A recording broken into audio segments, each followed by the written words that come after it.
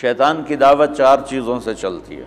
हुकूमत से, ताकत से, पैसे से, औरत से। गलत औरत, आज बुरी नहीं, गलत औरत। अदुनिया कुल्लहा मता व खैर मता अलमरा तो सालहा। दुनिया मुख्तसर सामान ज़िंदगी है और इसकी सबसे आला दर्जे की चीज़ नेक औरत है। निसा से मुराद है, गलत औरत। हब बाइलिया सर मुझे तीन बातें पसंद हैं। खुशबू औरत औरत से क्या मुराद है? बीवियाँ बीवियाँ। और मेरी आँखों की ठंडक नमाज़। तो चार बातों से बातिल फैलता है। ये सारी चीज़ें मेरा इस्तेमाल है, जो मैंने हदीस से लिया, कुरान से लिया।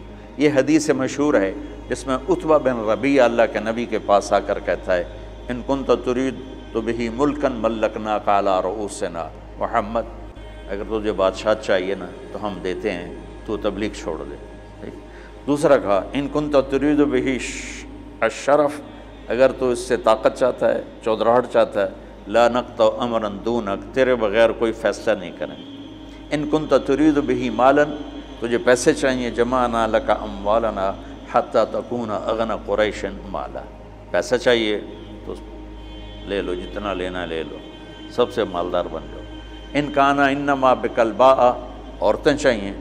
फ़ख्तर अया निसा क्रैशन फल नज़विज का अशरा।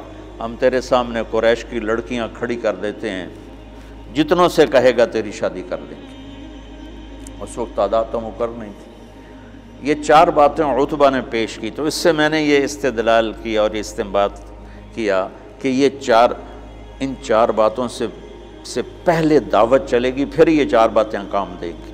अगर दावत नहीं है तो ये चार बातें हरकत में ही नहीं आएँगी। दावत असल सबब है, उस सबब को उठाने वाली चार चीज़ें हैं। बातिल का दाव, सबब दावत है, उस दावत में रंग भरने वाली हुकूमत, ताकत, पैसा, औरत। और इधर जब आप फारग हो गए, जब वो उतबा अपनी बात से फारग हो गए तो आपने कहा फ़र्क था अबल वलीद। अबल वलीद, तू फ़र्क है? तेरी बात पूरी होगी, उन्होंने कहा। हाँ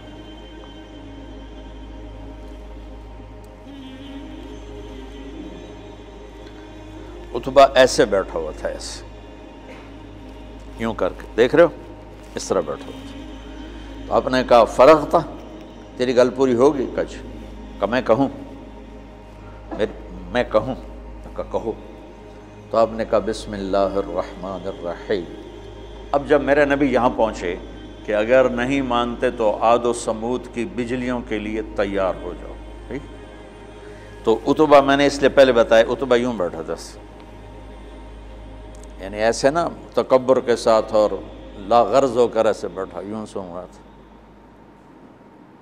जब आपने कहा ना, आद व समूद की बिजलियों की कड़क के लिए तैयार हो जाओ अनजर तो कुम साक़ता मिसल साक़त आदन व समूद। तो उसने यहीं से यूँ जंप लिया। अब मैं तो नीचे गिर जाऊँगा, लिहाजा जंप ले नहीं सकता। उसने यहीं से यूँ जंप लिया और अल्लाह के नबी के मुँह पे दोनों हाथ रख दिए। नाशत तो कर रहे का तुझे रिश्तों का वास्ता तुझे रिश्तों की कसम, आगे कुछ ना कहना, आगे कुछ ना कहना। चुप हो जाओ, चुप हो जाओ। और ऐसे कांपता हुआ वापस आया। अबू जहल कहने लगा, जैसे गया था, वैसे नहीं आ रहा।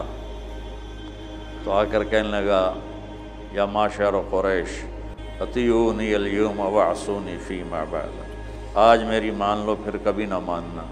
इस आदमी को छोड़ दो। अगर ये कामयाब हो गया तो ये क्रैश है, इसकी इज़्ज़त तुम्हारी इज़्ज़त है। और अगर गैरों ने इसको मिटा दिया तो गैरों के ज़िम्मे तुम बच जाओ, वो तुम्हें आद व समूद की, बिजलियों की कड़क से डरा रहा है। और तुम्हें पता है जब मोहम्मद बोलता है तो सच बोलता है।